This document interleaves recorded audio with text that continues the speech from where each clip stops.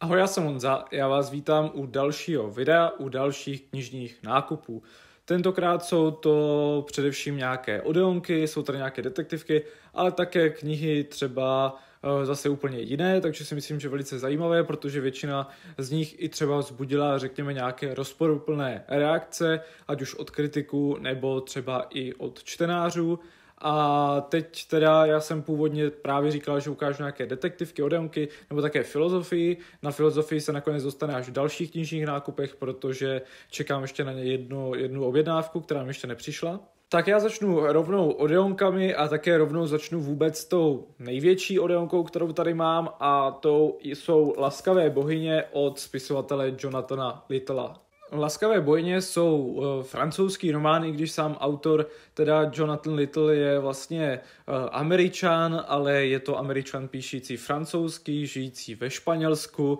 takže to je takové docela zajímavé. A uh, Laskavé bojně jsou teda francouzský román, psaný francouzsky, oceněn také francouzskou literární cenou. Je to kniha, která zbudila velkou pozornost, která vyvolala velké reakce. Jde o více než 800 stránkové dílo, které se uh, věnuje druhé světové válce. Hlavní postavou je jeden nacistický důstojník, který zároveň teda vypráví svůj příběh. Eh, který zažil během té druhé světové války a vypráví tak nějak všechno, ale z pohledu přesvědčeného nacisty. To je právě ten problém, na který ta kniha trošku narazila, protože ta kniha vlastně nevydává žádné morální stanovisko, nehodnotí Eh, toho daného člověka, nehodnotí jeho činy a staví se k němu neutrálně. Už v podstatě začíná provokativní úvahou, co bychom dělali my v jeho situaci, jak bychom se chovali my a jestli jsme si natolik jistí, že bychom se třeba nechovali stejně. Sam autor teda původně pochází z židovské rodiny, ale za žida se teda nějak zvlášť nepovažuje, ale i přesto se v podstatě nevyhl právě těmto nějakým kritikám, kde teda opravdu někteří ho silně kritizovali, protože on sám v podstatě nezaujal žádné stanovisko k tomu ale samozřejmě kdyby ho zaujal nebo kdyby ho zaujala ta kniha, eh, to stanovisko, tak v podstatě eh, tak nějak trochu podkopává svůj eh, styl, protože samozřejmě tam je důležité to, že opravdu to popisuje někdo z toho pohledu, řekněme, druhé strany, z té strany nacistické, kdy ho to neopouští ani právě po té válce a jakoby nehledá pro sebe nějaké zvláštní výmluvy nebo něco takového, ale v podstatě to hodnotí jenom z toho důvodu, že člověk plní nějaké rozkazy a tak dále. To je právě téma dlouhodobé, které se v podstatě ale zase nějak eh, k druhé světové válce jako váže, protože eh, nebo to pojetí zla, eh, řekněme, já tady právě, jak už jsem zmínil tu filozofii, že ji zmíním příští knižní nákupy, tak tam také ukážu knihu Eichmann v Jeruzalémě, což je kniha Hannah Arendtové,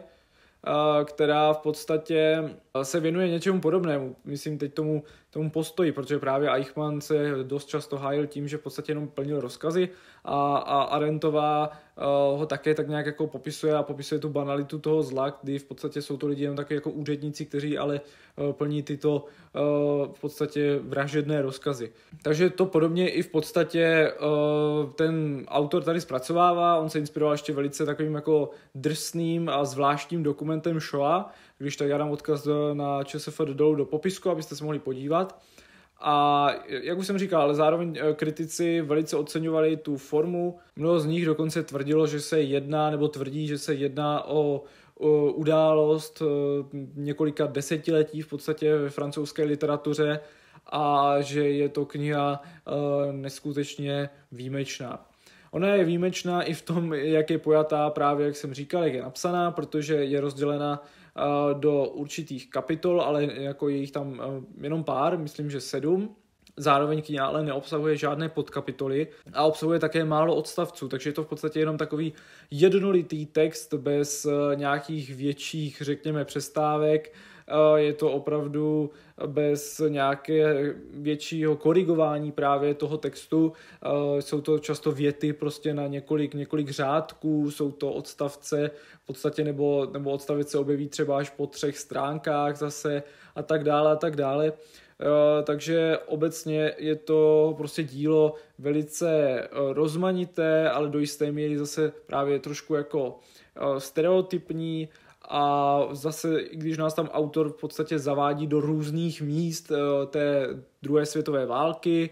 na, na různá bojiště, eh, tak vždycky potom popisuje nějak tu svoji roli v tom a prostě, jak už jsem říkal, nějak zvlášť se neomlouvá. Eh, na tuhle knihu jsem hodně zvědavý, osobně si myslím, že může být velice zajímavá, i když je to opravdu teda zrovna tady jsem otevřel nějakou stránku, no to asi moc nepůjde vidět, kdy, kdy ten text v podstatě je úplně jakkoliv nedělen a je to, je to opravdu jednolitá záležitost. Jo, jsem docela zvědavý, jestli to je tak vlastně zajímavé, jak se, jak se tvrdí, protože oni v podstatě nad tím trošku v úvozovkách spekulovali, eh, jak je možné, že někdo napsal tak uh, podstatě faktický román, který, jsou, který v podstatě jenom něco výjmenovává, je, je v podstatě opravdu jako v tomhle přesný a, a zároveň uh, je právě takový trošku odtažitý, ale zároveň prostě dokáže na 900 stránkách v podstatě uh, udržet čtenářovou pozornost a dokáže zaujmout a dokáže nějak eh, s námi, řekněme, emocionálně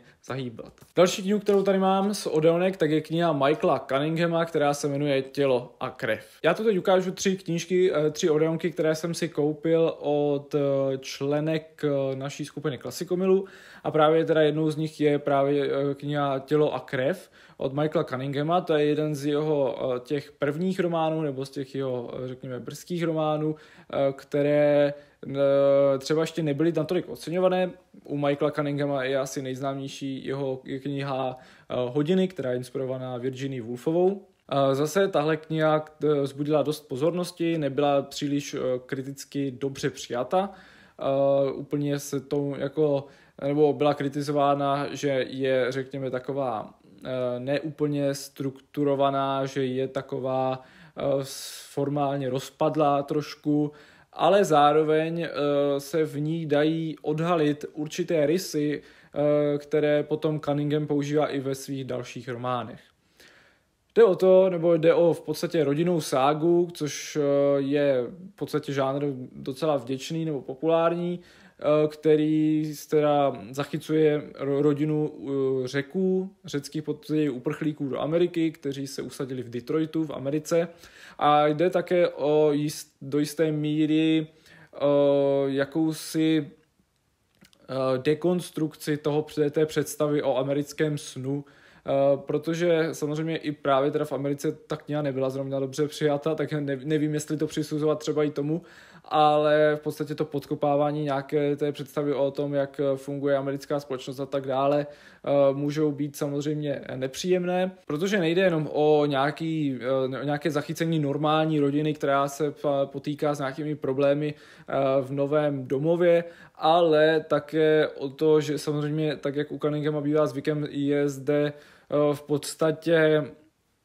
ukázáno několik také eh, problémů, jako jsou nějaká jako sexuální orientace a, a tak dále a tak dále, nějaké násilnictví v rodině, alkoholismus a spoustu těchto věcí, eh, které potom třeba Cunningham rozvíjí v dalších svých románech. Mělo být o dost v podstatě nepříjemný náhled na určitou rodinu, eh, na různé druhy lásky, jak už jsem zmínil, nějaká ta přátelská, milostná, a rodina a tak dále. A upřímně jsem na to docela zvědavý. No, takže Michael Cunningham a jeho tělo a krev. Další knihu, kterou tady mám, tak je kniha Naskledanou tam nahoře, kterou napsal Pierre Lemaitre, což je eh, francouzský spisovatel, spisovatel, který píše především eh, thrillery nebo detektivky, eh, které jsou velice úspěšné, velice prodávané, což byl právě problém i u této knihy, která je do jisté míry zase inspirovaná detektivním žánrem, ale je zasazena do světové, do první světové války. Právě proto, když on získal velice zase významnou francouzskou literární cenu, tento román, tak ta porota byla kritizovaná právě proto, že se příliš přizpůsobila nějakým čtenářským preferencím, protože kritizovali, že právě tento autor a i tato kniha je v podstatě kniha velice vděčná, kdy do toho detektivního žánru je ještě v podstatě vložen jako válka a všechny tyto v podstatě nějaké jako přátelství, příběh velkého přátelství, v podstatě všechny tyto vděčná témata nebo vděčné žánry, což se teda některým úplně nelíbilo. No ale samozřejmě i tak ta kniha byla teda oceněna, je velice oblíbená, zase tak nějak vybočuje z toho, co normálně autor píše. Jde o to, že jeden poručík v armádě v první světové válce žene svůj pluk do v podstatě, řekněme, zbytečné záhuby, protože už nikdo ani nechce bojovat a už se to chýlí všechno ke konci, ale on si chce vydobít uznání, chce si vydobít nějaký respekt a nějaké ceny a ocenění, takže v podstatě žene je do nebezpečné akce, která je v podstatě opravdu zbytečná, různě intrikuje, aby, aby celý ten pluk cítil touhu se pomstít těm nepřátelům. A to je samozřejmě téma, které je teda nabí, nebo nabízí Eh, řekněme, nějakou reflexi určitou a nějakou psychologii postav, ale zároveň je teda do toho ještě zapleten, jak jsem říkal, ty, ty různé intriky, tak ty jsou právě i uh, spojeny s detektivkou, takže jde v podstatě o takový válečný a detektivní román. Ten možná nebude ani zdaleka tak ambiciózní nebo zdaleka tak uh, propracovaný jako třeba ty laskavé bohyně, ale nepochybně to může být román zajímavý a sám, jsem, sám si chci docela udělat názor na to, jestli to je kniha, eh, která je čtenářsky právě populární a proto ji také kritici ocenili, anebo opravdu v sobě nese i uh, jiné literární hodnoty. Další knihu, kterou tady mám, tak je kniha Vědomí konce od Juliana Barnce. O Julianu Barnesovi už jsem tu eh, několikrát mluvil, především teda třeba s jeho románem Flobertův papoušek, ale i o jiných. A je to autor velice významný, současný autor eh, britský, který ale zase právě se velice obrací do tradic francouzského románu, řekněme. Ale tady toto je jeden z jeho novějších románů, který vydal v roce 2011, myslím, a byl zase oceněn uh, Bookerovou cenou, což je docela zvláštní, nebo jako uh, trošku to vybočuje z toho, protože právě Flaubertův papoušek, který někdy bývá považován za uh, nejlepší dílo, právě Juliana Barnce, tak bylo pouze nominováno, za to tady vědomí konce uh, zvítězilo. Uh, jde o takovou útlou knížečku, která uh, rozehrává zase několik témat. Uh, hlavní postavou je jeden stárnoucí muž, který opravdu už tak jako řekněme bilancuje nad svým životem, eh, bilancuje nad vším možným, nějak si snaží uspořádat všechny vztahy, všechno si dá tak nějak ke konci života do pořádku a zjišťuje také určité věci, které třeba můžou hodně změnit jeho pohled na eh, jeho dosávadní život. Je to samozřejmě román, který kombinuje klasické, řekněme, motivy Juliana Barnce, ale také motivy, které se často vyskytují v různých takových podobných románech, takže ten motiv paměti, která samozřejmě něco za ten život vytěsňuje, něco zase naopak třeba e, zbytečně zdůrazňuje, něco poupravuje. A zase tady tyto také ty, ty pocity stáří a právě toho, že člověk třeba by měl ve stáří se nějak cítit, ale třeba ve skutečnosti je to je úplně jinak, eh, protože často máme představu, že třeba lidi staří musí být nutně moudří, ale samozřejmě to ne vždycky je pravda. Takže eh, tady právě tento vypravěč se vydává na takovou, řekněme, pouť po svém životě, po své paměti a možná také uvozovkách na stará kolena zjišťuje, že všechno, co zažil, nebo jak sám sebe viděl a jak viděl jiné, může být ve skutečnosti úplně jinak. Takže zase román velice úspěšný, velice oceňovaný, velice populární, jak mezi kritiky, tak mezi čtenáři. A někteří třeba můžou kritizovat tuto knihu, že je, řekněme, příliš chladná. Opravdu tady v podstatě si Barnes udržuje jakýsi zase odstup, aby příliš eh, nebyl jako emotivní, aby nehrál na takové ty první city, aby sledoval trošku, řekněme, jiné uh, ty varianty nebo ty, ty aspekty toho příběhu, které jsou možná trošku hlubší než ty úplně první emoce. Teď tu mám ještě teda jednu věc, ale to už je, to je sice Odeon, ale už to není klasická jakoby Odeonka v tomto smyslu, jak jsem ukazoval doteď. A tou knihou je kniha Ernesta Hemingway, která se jmenuje Pohyblivý svátek. Pohyblivý svátek ani zdaleka nepatří mezi ty nejvýznamnější romány Ernesta Hemingwaye, jako jsou třeba Komu zvoní hrana, nebo S bojem armádo, a nebo Stařec a moře, eh, což teda není úplně jako doslova román, ale to je jedno, spíš jako mezi nejznámější knihy. Možná se nabízí otázka, proč jsem si teda tu knihu koupil, ale mě právě zaujala svým tématem. Já už jsem tady zase párkrát zmiňoval, že Hemingway třeba mě svým románem s bohem armádo příliš nenadchl, což ale neznamená, že bych mu třeba nechtěl dát ještě eh, šanci nějakou jinou knihou, takže mě čeká, komu zvoní hrana a čeká mě právě pohyblivý svátek. Eh, pohyblivý svátek eh, to je kniha, která,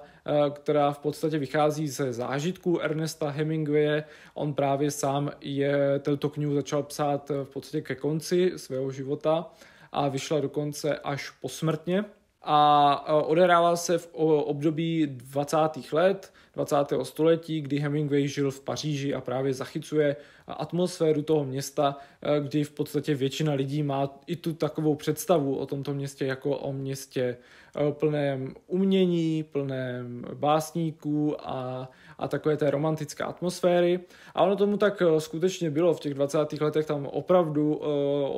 bydleli různí významní spisovatelé, jako je právě James Joyce, Francis Scott Fitzgerald, nebo tam aspoň pobývali, chodili do, té, do toho významného knihkupectví, které funguje dodnes, Shakespeare and Company, a ta kniha je možná vůbec mm, jakoby nejcennější v tom, že zachycuje právě to eh, jedno období Paříže, které eh, tak nějak zůstává z Paříží dodnes, i když samozřejmě Paříž jako taková se eh, velice proměnila ale jakási ta romantická, idealistická představa Paříže opravdu stále se trvává a proto je ta kniha často velice populární, třeba právě i mezi francouzi, kteří ji mají velice rádi. A i když ta kniha může, řekněme, trošku zapadnout mezi jinými významnými díly Ernesta Hemingway, které jsou, řekněme, uh, fiktivní, tak uh, právě svým tématem, kdy podobně třeba s tím pracuje i uh, film Woodyho Elena, Půlnoc v Paříži, kdy ta postava také prochází tou ideální Paříži, i když eh, ta právě ta Paříž, kterou on zažívá do určité míry třeba není tak, jak by si ji vysnil, jak by si ji představoval, ale pak se právě tam posouvá do, těch, do toho období, kdy tam právě byli všichni ti významní autoři a tam zažívá ty to, co v podstatě vždycky chtěl zažít a jakou představu o té Paříži měl. Takže proto si, i když ten, ten film mám rád, i když si myslím třeba, že není tak myšlenkově, uh, řekněme, ambiciozní jako předchozí filmy Woodyho Allena, především teda ty ještě z 20. století, tak uh, pořád se mi to moc líbilo a ta atmosféra mě okouzila a myslím si, že uh, Pohyblivý svátek může být velice podobné dílo a s podobnou atmosférou a moc se na něj těším. Teď se přesunu k jiné knize, která tady tak trošku vybočuje, protože to není klasika evropské literatury, nebo také to není, eh, tady mám většinu od eh, jedněch nakladatelů tu knihu, ale tady je to úplně od jiného nakladatele. Tou knihou je kniha, která se jmenuje Samurai a napsal ji Shusaku Endo. Od tohoto japonského spisovatele je dost možné, že třeba znáte eh, knihu Mlčení, kterou natočil později Martin Scorsese eh, jako film, eh, kdy jde v podstatě o líčení jakéhosi křesťanského misionáře, který se vydává do Japonska.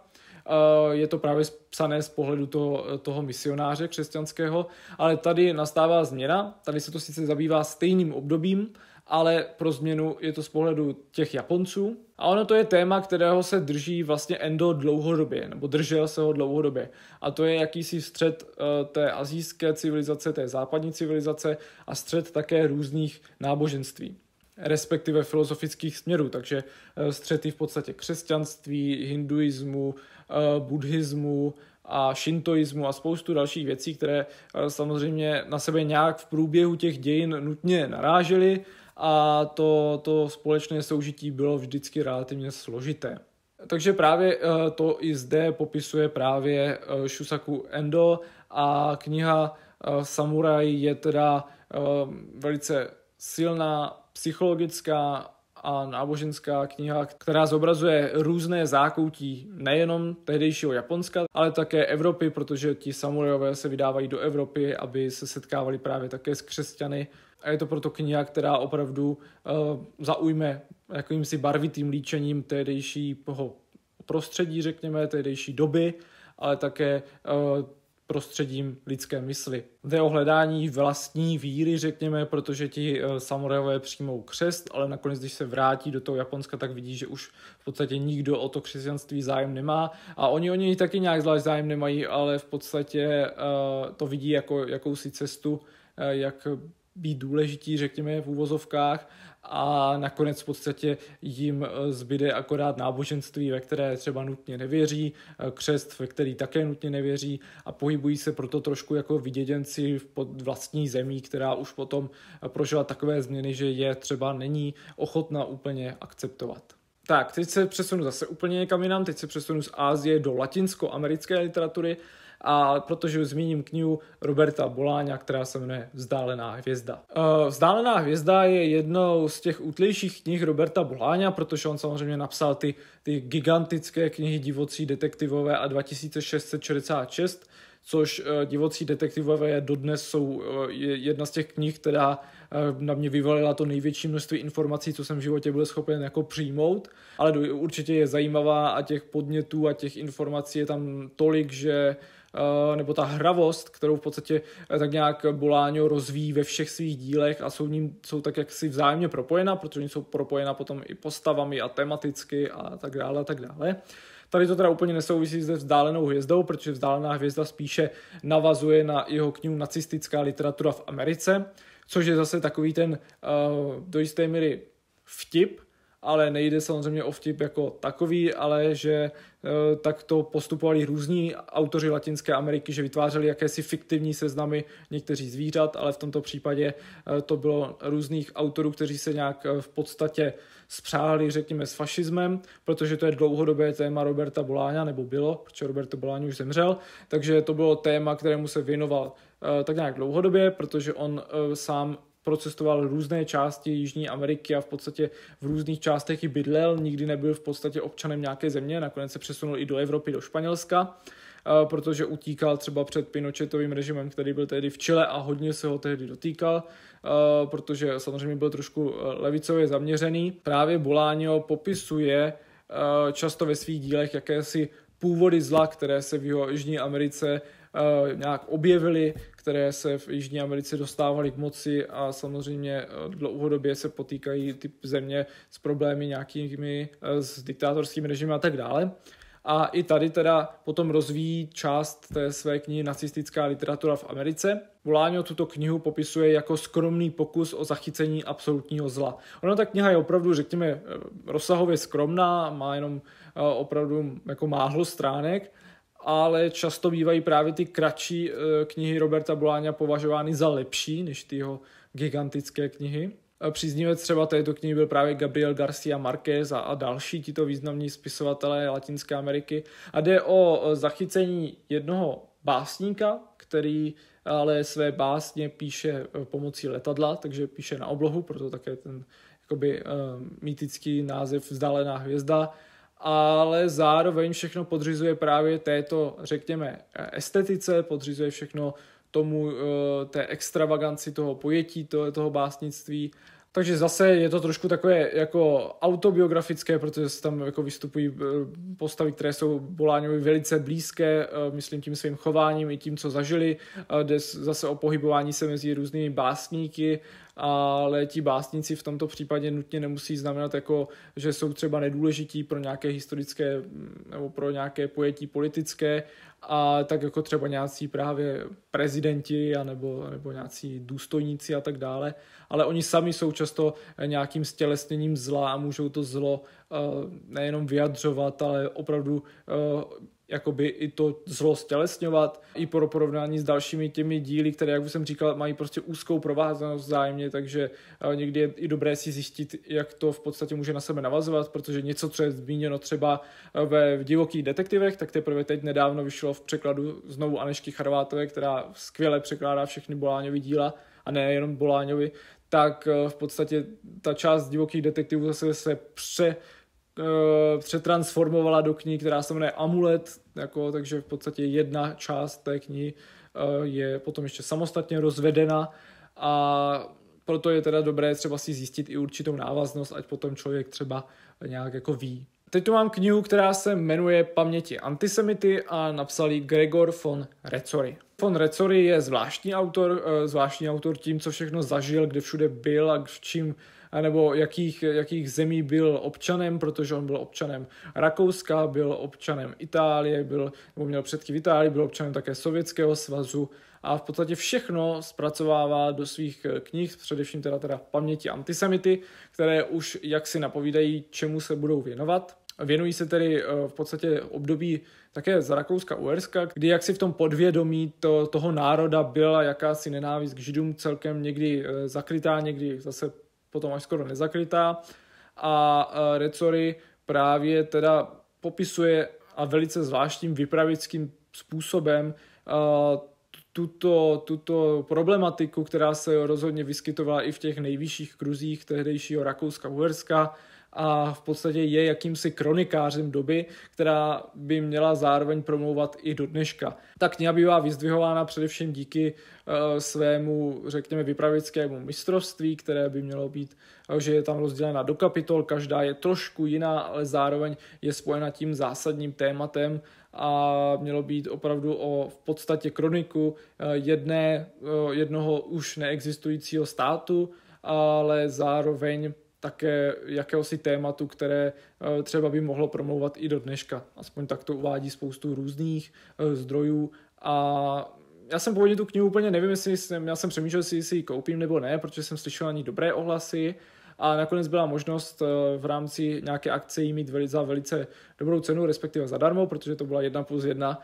zdarma, takže jsem si ji k tomu přihodil a jsem rád, že ji mám a určitě si ji někdy v budoucnu přečtu. Tak, teď tu mám knihy dvě od jednoho autora, tím autorem je Orhan Pamuk a začnu jeho knihou Tichý dům. Orhan Pamuk je významný turecký spisovatel, který ale nežije v, dlouhodobě v Turecku, žije v Americe a je to autor, který dlouhodobě stojí někde na pomezí, řekněme, západních vypravických postupů a východních vypravických postupů, to se mnohem více dopromítne ještě do knih, kterou zmíním až později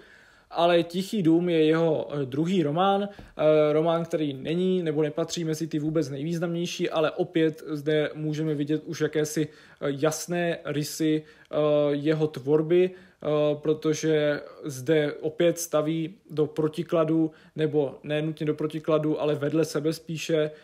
témata která jsou pro, důležitá pro celý národ, takže nějaké, řekněme, ty dějné události a zároveň události eh, jednotlivců, události eh, v jedné rodině, v tomto případě v jednom domě. Do jednoho přímořského letoviska se vydává je trojce sourozenců, aby navštívila svou babičku 90 letou, která bydlí teda v domě, což není zase tak překvapivé. A právě tam nějak v podstatě rozehrávají, eh, nebo se rozehrává problém rodinných tajemství, které v tom domě vyplí nebo z toho domu nějak vystupují, ale zároveň za zdmi toho domu a za zdmi těch rodinných tajemství eskalují různé bojůvky pouliční, od, kde, se, kde se nejsou schopni domluvit v podstatě, řekněme, různé politické skupiny, levicové, potom nějaké konzervativní a v podstatě to v tom Turecku jako vře, a což je dlouhodobé téma prostě Orhana Pamuka, už to je jeho román Sníh, který se zase tady těmto těmto střetům eh, v podstatě politickým věnuje. Tady opravdu se vedle sebe stavějí ty dvě výrazné roviny toho románu a to je ta ta rodina a potom ta opravdu jako dějina, řekněme národní. Zase můžu říct, že to téma, které třeba Orhan Pamuk zpracovává v tomto případě, třeba i ten dům nebo to tajemství toho domu, které samozřejmě skrývá ty tajemství té rodiny, není příliš originální, což se asi dá říct, protože je to věc, kterou e, zpracovalo už hodně jiných autorů nebo do jisté míry fascinaci e, určitým jako tím domovem, který e, za kterými těmi zdmi se odehrávají různé životy, tak fascinovala už více autorů. Eh, například francouzský eh, spisovatel Georges Perec eh, třeba napsal knihu, která se jmenuje Život, návod k použití a ta se v podstatě jako věnuje lidem, kteří bydlí v paneláku a, a jejich různým osudům. A on to je něco jiného, ale v podstatě ta fascinace tím domem a, a tím, co znamená v kontrastu třeba s tím, co se děje venku, je v podstatě nepříliš originální, ale tady právě Pamuk dlouhodobě zpracovává témata, která by se nemuseli zdát příliš originální nebo už jsou třeba známá a právě proto je často jako je řazen mezi postmodernisty, že zpracovává prostě i různé klasické, takové ty možná trošku brakové žánry nebo žánry, které nejsou považovány za tak, řekněme, intelektuální, jako je třeba detektivka a tvoří v nich velice tvoří z nich potom velice složité, kompozičně složité romány, které umí prostě fascinovat v podstatě ve všech svých směrech a možná nás, řekněme, západní čtenáře o to více, že nám v podstatě přibližují nějakou kulturu, která je nám úplně nebo je nám vzdálená a nemáme třeba eh, z ní takové znalosti. To právě potom zdůrazním u té druhé knihy, kterou zmíním právě teď, a to je kniha Orhana Pamuka, teda, která se jmenuje Černá kniha. Černá kniha bývá dlouhodobě řazena mezi nejlepší uh, romány Orhana Pamuka.